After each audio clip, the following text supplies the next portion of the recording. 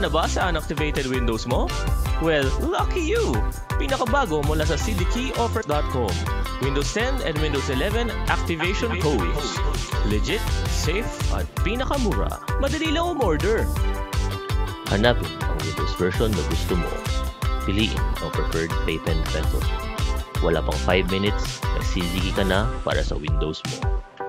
Marami na kaming natulungan. Dati, sad and depressed ako. But now, I found the love of my life.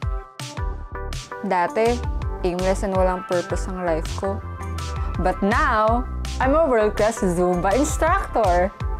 So, web developer ako and content creator for a YouTube channel. And ngayon, ganun pa rin ako pero activated na yung Windows ko.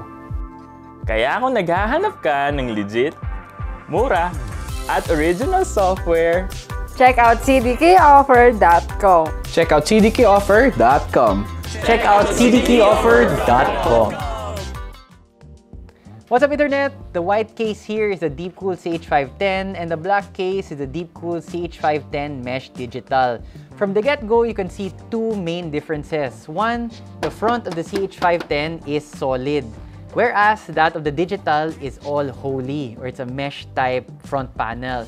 And that's great, especially for high-end builds which need a lot more cool air coming in from the inside to cool off the hotter components inside. And that's a big improvement over the CH510 which only had these side panels for air intake. Both though feature top mesh filters and there are also filters here at the bottom near the PSUs. The second big difference is of course the digital display of the CH510 Mesh Digital. But before we get to that display, you should note that this entire front panel is removable for easier maintenance, but because the screen is attached via a wire to your motherboard, you do want to remember to remove the header first to unplug the screen before you yank it out. The screen does bring a lot of improvements, but at the same time, it does make things a little bit more complicated when you're doing routine maintenance. But what does that screen give you? Right now, it's only a very basic implementation of the technology. It can display CPU temps, GPU temps, and toggle between Celsius or Fahrenheit. All of this is via software which you download onto your computer. It sounds basic, but actually it's quite useful, especially for a lot of us who are obsessed with our temperatures. If there's one thing that interacting with PC guys for the past four or five years here at Hardware Sugar has taught me is that a lot of people are obsessed on how hot or cold your computer is. And with this built-in display, it's super easy to see at a glance kung mainit ba yung computer mo. Admittedly, the screen is quite basic. It reminds me a little bit of a digital home clock. When you get up close, there is a bit of backlight bleed from the LEDs used, so it's not completely black and with just the numbers displaying. The trajectory of this technology probably will be like what we've seen in AIOs. Back in the day, AIOs didn't have any screens on their CPU blocks, and then we started to see basic rudimentary screens. And then now we have the very advanced screens from the likes of NZXT with their Kraken Z series, or MSI with their MAG CoreLiquid S360, where you can even have very detailed moving GIFs on the CPU block screen. And that's probably how this technology will move forward. We're starting with the very basics, and as technology gets better and better, we'll be able to get fancier and fancier screens capable of doing more things. But even in the infancy of this technology, very rare to see this kind of display in a mainstream case. The use case is already useful. You're getting information that you probably do want to see displayed immediately, or it's very easy to find at a glance. Aesthetically, it does make the front very distinctive. Other things you might want to know about the CH510 Mesh Digital is that it's a very roomy case. You can install a 360mm rad here on top or here in front. It has a maximum space for 5 140mm fans or 9 120mm fans. For the CPU cooler, it can take a maximum height of 175 millimeters. To put that into perspective, one of the largest CPU air coolers, the Dark Rock Pro 4, is only 163 millimeters. So you can be assured that basically it can accept any CPU cooler, it's compatible, it will fit. And that goes as well for GPUs. The GPU clearance for the CH510 Mesh Digital is 380 millimeters long. To put that into perspective, the MSI 4090 is around 338 millimeters or so. So there's a lot of allowance in here Currently, we have a Asus 4070 Ti installed and you can see that it fits quite well.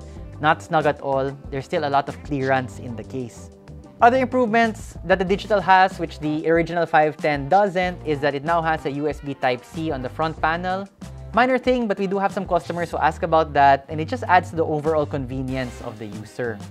Two features which are super useful, which both cases still share, is that the side panel is very easily removable. Number one, it's affixed by magnets, so all you need to do is pull it towards you and slide it out. A lot of cases make it an IQ test on how to properly remove the side panel. So I've always appreciated Deepcool's approach where it's super easy to take off your side panel. And number two useful feature, both of them have a GPU support bracket which is towards the front of the case and you can adjust the height up or down depending on how large your GPU is. It is a sturdy little wing or it projects a little ledge out to catch the GPU. So it's a small thing but appreciated, especially in this day and age of ever larger and larger cards. The interior frame of both cases are basically the same. So the part where you screw in the motherboard looks basically identical between the two cases and then you have the two very large grommet areas to do cable management with. One thing though which the CH510 has, which the CH510 Mesh Digital doesn't have, is this very useful feature where it's a, a hook with springs. So you just need to press down and it pops out and it serves as a nice ledge or hook for any headsets that you have. Interesting feature, again not common in cases which the CH510 had, which was eliminated in the digital mesh version. Overall though, a lot of interesting improvements with the digital mesh version, approaching the point where it is a well-priced case, but it's distinctive looking enough, and performance-wise, it allows so much more air in that you could honestly do a high-end build in this and not get worried. And be assured that your parts are getting enough airflow for their cooling needs. So for its price point and its features, very hard to really find anything negative to say about the CH510 Digital Mesh.